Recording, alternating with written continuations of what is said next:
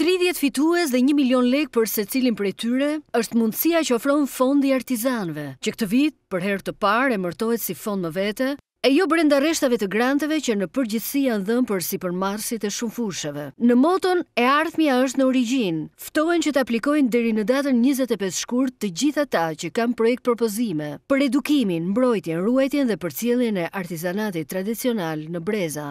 Ne gjithmonë kemi mbështetur artizanët në projektet tona, ato që i quajmë ne projekte me thirrje, në fondin që e mbështet Qeveria Shqiptare me grante, por këtë vit vendosëm ta ndanim veçan duke parë që t'i jepnim edhe më tepër jehonë edhe për më tepër sepse duam që dhe në vazhdim të shikojmë nëpërmjet këtij aplikimi të fillojmë të ngrejmë disa statistika për një program më afatgjatë. Duam të vazhdojmë këtë bashkëpunim edhe me Dhomën e Zejeve. Kemi shumë artizanë në territor që ndoshta ende nuk e dinë që duke u regjistruar në Dhomën e Zejeve mund të kenë mundësi më të shumta edhe mbështetje nëpërmjet granteve, por edhe në futjen e një networku më të gjerë ose të mbështetjes nëpërmjet fondeve europiane. Patjetër duam që gjithmonë e më tepër shtysa të jetë në rritjen e numrit të atyre të cilët trajnohen, marrin dijen dhe fillon dhe kthehen në sipërmarrës të rinj.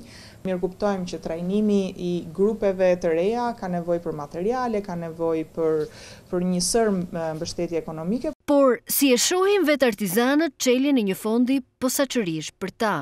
Me thënë është e para herë që po na ndihmojnë, është një mundësi e mirë, sepse do rrisim prodhimin, por njëkohësisht edhe për të mbledhur lëndën e parë. Sepse guackën e mbledhim, fillojmë në Butrint dhe mbarojmë në Velipojë. E mbledhim në det, në rërë, vetë, dhe me punëtorë. Do mësojmë edhe brezat në shkolla, në shtëpitë e fëmijës. Kemi folur edhe me Bashkinë e Sarandës, për shembull, meqë janë punimet me guacka që t'i mësojmë edhe ata për shtëpinë e fëmijës në Sarandë, qoftë edhe këtu në Tiranë apo në Shkodër, ku të jetë e nevojshme. Punimet që do bëjnë vetë ata, do t'i do t'ua shesim neve dhe paratë do kalojnë tek shtëpia e fëmijës. Hera e parë që ne marrim një ndihmesë të tillë, ndihmesë shumë e madhe për neve.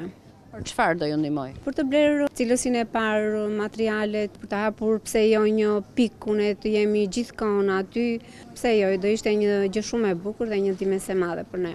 Që? Që të hapni një dyqan të vogël. Dhe me këtë fond deri 1 milion lekë të reja mund ta hapni?